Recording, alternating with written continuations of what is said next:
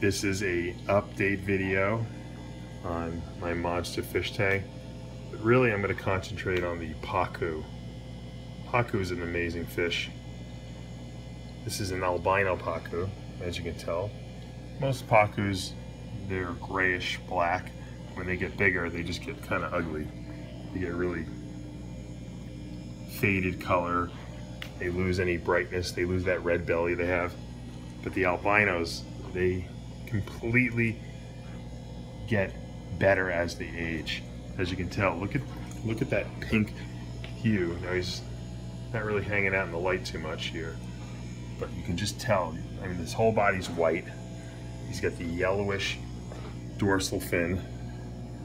He's got yellow on his his rear fins. You see his body, there's like a pinkish hue, and I know that's probably a lot from the krill I feed him. This this guy can eat handfuls and handfuls of krill every day.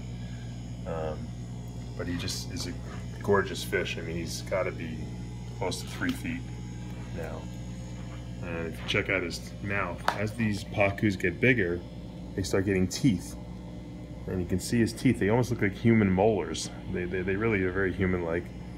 Um, they're just starting to come in. He's got obviously that nice red eye because he's albino. And he's not really an aggressive fish, I wouldn't say, but if you see, you see his mouth is a little banged up, he sometimes goes crazy and bangs into the glass, or in this case, acrylic. Uh, there's his friend, they fight a lot, the albino channel cat, which is actually longer than him, I think, now.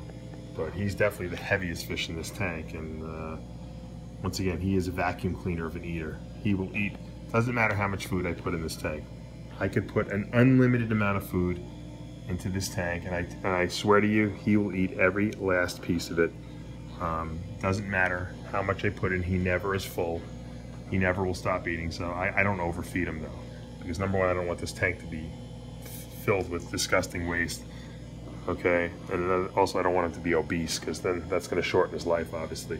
I never thought I, he would, I would say that a fish would outgrow the 600 gallon tank, but you know, he's coming close to it. Obviously, he's still got plenty of room in the tank, but you know, he is pushing the limits of it.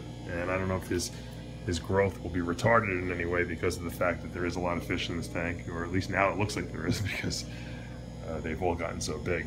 But uh, this albino pacu is one of my favorite fishes. And like I said, he's almost like a little pet. He's like a dog. Uh, he's very predictable, but sometimes he, he gets a little skittish and he can get scary when he swims super fast back and forth. And, uh, you want to get out of his way. You don't want to get hit by him. This is that's a lot of weight right there and a lot of mass, but uh, just a beautiful, beautiful fish. For those of you who don't know, the pacus are in the piranha family. That's why they have a very similar body shape. Obviously, they don't have the serrated razor teeth, and they're not super aggressive like the piranhas are, but they definitely uh, love to eat, and uh, they look like big piranhas because the piranhas don't get this big in size, but they're certainly in the same family.